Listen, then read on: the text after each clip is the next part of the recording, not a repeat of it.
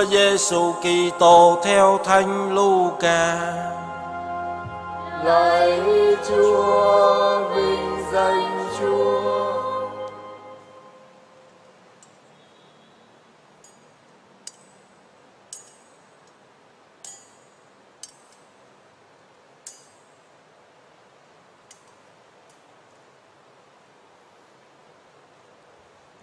Khi ấy Đức Giêsu nói với mọi người rằng: Ai muốn theo tôi phải từ bỏ chính mình vác thập giá mình hàng ngày mà theo. Quả vậy, ai muốn cứu mạng sống mình thì sẽ mất. Còn ai liều mất mạng sống mình vì tôi thì sẽ cứu được mạng sống ấy. Vì người nào được cả thế giới mà phải đánh mất chính mình hay là thiệt thân thì nào có lợi gì. Ai xấu hổ vì tôi và những lời của tôi thì con người cũng sẽ xấu hổ vì kẻ ấy khi người ngự đến trong vinh quang của mình, của Chúa Cha và các thánh thiên thần. Đó là lời Chúa. lạy chúa kitô ngợi khen chúa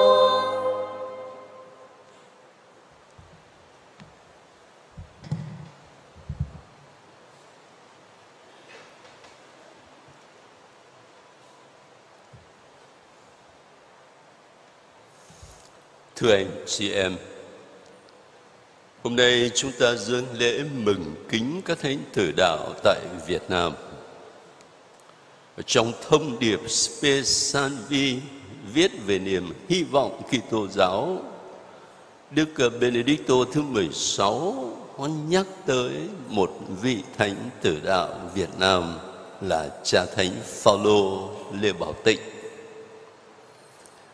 Cha Thánh Phaolô Lê Bảo Tịnh ờ, là giám đốc của chủ viện Vĩnh Trị và ngài bị xử trảm ở pháp trường Bảy Mẫu dưới thời vua Tự Đức.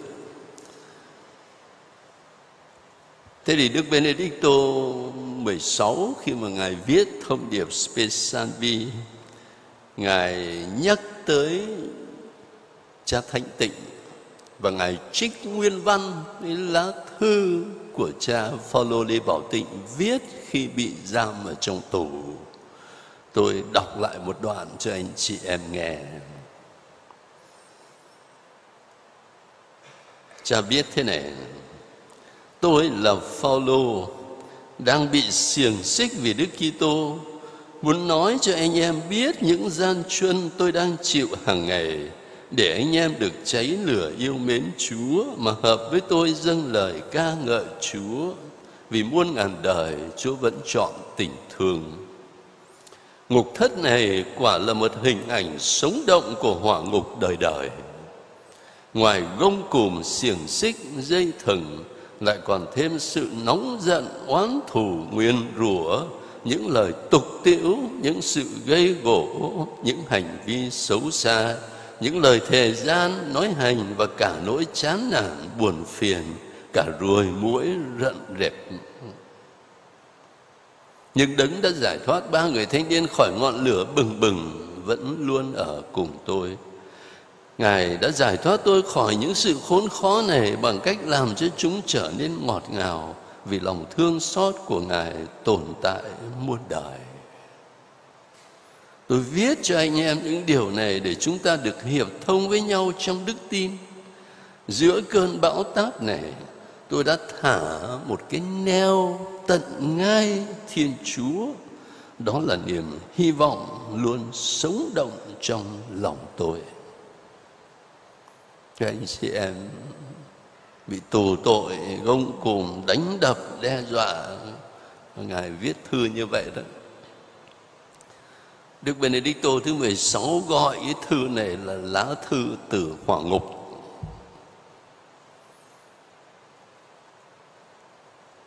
và ngài gọi cho thánh lê bảo tịnh mà tôi nghĩ là có thể áp dụng cho tất cả các thánh tử đạo việt nam.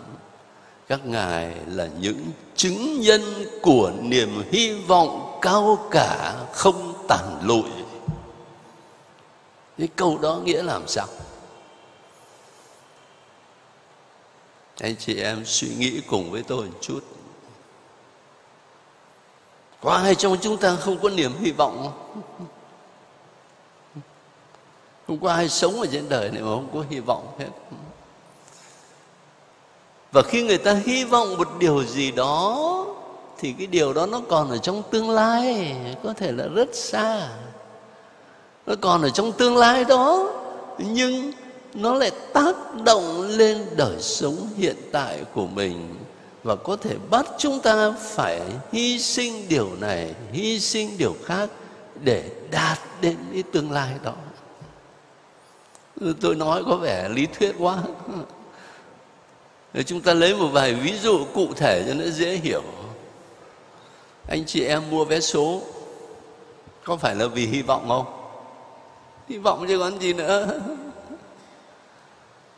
hy vọng là trúng số. Trúng số mình có bạc tỷ rồi. Thu xếp được bao nhiêu việc ở trong gia đình rồi. Mà cái chuyện trúng số đó, nó còn ở trong tương lai. Ít ra là tuần nữa, phải không? Đó. Nó còn ở trong tương lai, nhưng mà cái tương lai nó tác động lên hiện tại. Và mình chấp nhận hy sinh trong hiện tại. Hy sinh cái gì? Móc túi một trăm ngàn, hai trăm ngàn để mua vé số. Không có một hai trăm ngàn đâu sao mua tờ vé số? Một ví dụ khác, một em sinh viên, học sinh đi học và hy vọng một ngày nào đó, ba, bốn năm nữa tôi tốt nghiệp đại học, cầm tấm bằng cử nhân cái chuyện tốt nghiệp đại học nó là ở trong tương lai, mấy năm nữa cơ mà.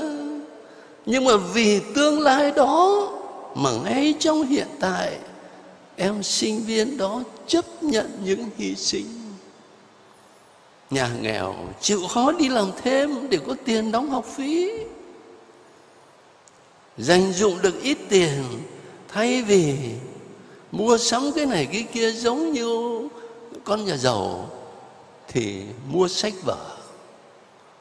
Có chút thời giờ thay vì đi chơi như bạn bè thì ở nhà đọc sách. Tất cả những cái hy sinh đó trong hiện tại là vì cái gì? Vì cái tương lai đó. Niềm hy vọng nó còn ở xa nhưng mà nó tác động ở trên đời sống hiện tại rất là mạnh mẽ. Bất cứ niềm hy vọng nào cũng thế nhưng có những niềm hy vọng thấp hèn và chóng phai tàn. Chúng ta thấy hàng ngày và đọc ở trên báo chí hàng ngày, điều đáng buồn là nhiều bạn trẻ vì cái hy vọng rất là thấp hèn, muốn có tiền để ăn chơi, để thỏa mãn những cái đòi hỏi của bản năng mà sẵn sàng cướp của giết người và không chỉ có những bạn trẻ thôi, thì báo chí mấy ngày nay đăng tin xử án tham nhũng nhiều lắm. Toàn những ông lớn không à. Nhưng mà nghĩ cho cùng thì cũng là thứ hy vọng thấp hèn thôi. Cho dù món tiền mà họ kiếm được lớn lắm. Thấp hèn và chống tàn lụi. Còn các thánh tử đạo là chứng nhân của niềm hy vọng cao cả và không tản lụi. Cao cả bởi vì các ngài không chỉ hy vọng những của cải vinh quang trần thế này, mà các ngài hy vọng nước trời.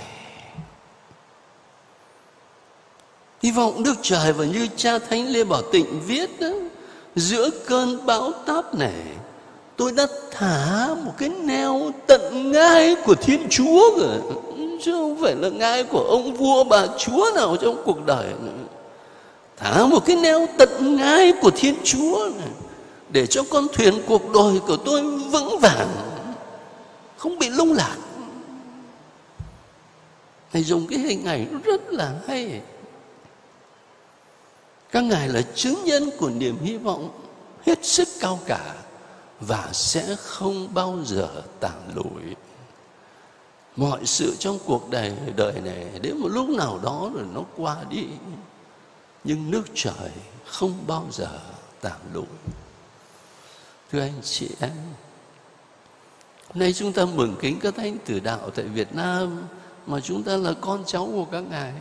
Mình rất là tự hào nhưng không thể chỉ là cái niềm tự hào suông được mà để sống cái niềm tự hào đó sao cho nó xứng đáng hơn? Và đồng thời, ta lại đang sống ở trong tháng 11 tháng các đẳng, tháng các linh hồn. Cả hai ngày lễ đều nhắc nhớ mình về một niềm hy vọng vượt qua cả biên cương của sự chết. Một niềm hy vọng mà dẫn chúng ta vào sự sống đời đời, vào nước trời ước gì chúng ta được nhắc nhớ về cái niềm hy vọng Kitô giáo đó. Để vì niềm hy vọng đó mình cũng chấp nhận những hy sinh từ bỏ trong đời sống hiện tại. Để bước đi trên con đường phúc âm mà Chúa Giêsu mời gọi chúng ta. Và ngày nào đó được chia sẻ niềm vui, bình an và hạnh phúc trọn vẹn với Chúa và với các thánh tử đạo Việt Nam. Amen.